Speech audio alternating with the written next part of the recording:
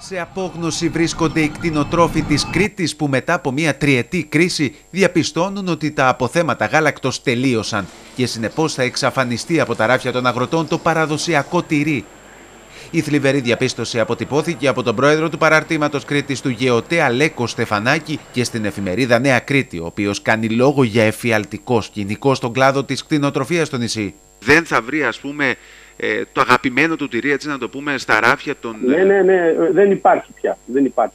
Η χρονιά που τρέχει θα είναι που θα δούμε τις επιπτώσεις, ε, κύριε Στεφανάκη; Ε, εγώ κατά την προσωπική μου άποψη ήδη φαίνονται, ήδη φαίνονται γιατί δυσκολευτήκαμε πάρα πολύ στην, στο να καλύψουμε τις ανάγκες της αγοράς σε ντόπια αρνιά και κρέατα. Σήμερα, αυτή τη στιγμή που μιλάμε υπάρχει τρομακτική έλλειψη, τρομακτική έλλειψη σε βαθμό δηλαδή που κανονικά γίνονται εισαγωγές. Ένα πράγμα απαράδεκτο. Ναι, μάλιστα. Ε, βέβαια, βέβαια. Και εκεί χάνουμε χρήματα. Δεν υπήρχε ενδιαφέρον από τους ανθρώπους να αρμέξουν τα ζώα τους, επισημαίνει ο πρόεδρος του ΓΕΟΤΕ, σημειώνοντας πως οι ποσότητες γάλακτος λιγόστεψαν κατά 40% μέσα σε ένα χρόνο εξαιτίας και των καιρικών συνθήκων. Η παραγωγή του γάλακτος, επειδή ξέρετε αυτό είναι μια αλυσίδα αν ο κτηνοτρόφος δεν μπορεί να ταΐσει σωστά το, το κοπάδι του, δεν μπορεί να το διαχειριστεί, ε, δεν μπορεί να κάνει προληπτικούς εμβολιασμούς, δεν μπορεί να, διατηρήσει, να το διατηρήσει σε ένα επίπεδο υψηλής παραγωγικότητας, η παραγωγικότητα πέφτει. Το, η χρονιά λοιπόν το 19 ήταν, είχε μια μειωμένη παραγωγή σε γάλα περίπου 40%. Το μεγάλο κομμάτι της κτηνοτροφίας της εγωπροβατοτροφίας της Κρήτης που έχει επενδύσει, έχει αρμεκτήρια, έχει υποδομές και παράγει αυτό το προϊόν, τα προϊόντα της εγωπροβατοτροφίας, τα αρνιά και τα υπέροχα τυροκομικά μας προϊόντα, δεν είναι βιώσιμο. Οι άνθρωποι κάνουν τεράστιες προσπάθειες για να κρατήσουν το, τις επιχειρήσεις τους και να μην ξεχάσουμε, να μην ξεχνούμε ότι αυτό είναι περίπου το 50% των εκμεταλλεύσεων της Κρήτης. Είναι τεράστιο νούμερο, δεν υπάρχει στην υπόλοιπη Ελλάδα αυτό το νούμερο εξυγχρονισμού.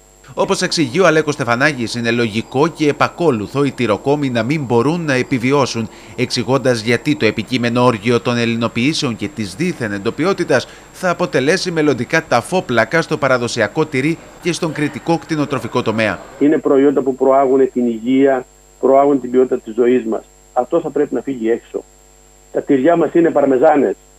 Και εμείς τι τα κάνουμε, είμαστε για γέλια. Μάλιστα. Με αποτέλεσμα να διαταράσσεται τρομακτικά η βιωσιμότητα των τυροκομείων, γιατί ασφαλώς τυροκομούσανε. Μια στιγμή υπήρξε πελεώνας στο τυρί, δεν είχαν τι να το κάνουν. Το βγάλανε προσφορές και άρχισε, άρχισε ο φαύλος κύκλος η δίνη της καταστροφής για να αλλάξει η εικόνα ριζικά θα πρέπει οι κτηνοτρόφοι να βρίσκονται σε επαγρύπνηση, να εφεύρουν τρόπους προώθησης των προϊόντων με ένα ευρύ άνοιγμα στην αγορά, ακόμη και να υπάρξει ένα πλαίσιο συνεργασίας μεταξύ τους στην Κρήτη για ένα ενιαίο και δυναμικό τοπικό προϊόν, όπως κατέληξε ο πρόεδρος του ΓΕΟΤΕ. Πρέπει να ανοιχτούν αγορές να φύγουν έξω. Λυπούμε που το λέω, λυπούμε, αλλά ε, δεν, μπορεί, δεν μπορεί ο κτηνοτρόφος που παράγει ένα χειροποίητο προϊόν να καλύψει την αδυναμία του Έλληνα καταναλωτή που θέλει να κάθεται στην Αθήνα ε, και να αγοράζει σε φτηνή τιμή το, το τυρί.